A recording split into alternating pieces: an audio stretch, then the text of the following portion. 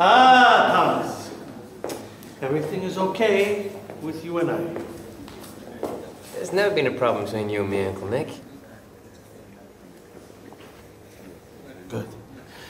Elma, you think you work this boy too hard. You should go out more. Have yourself a good time.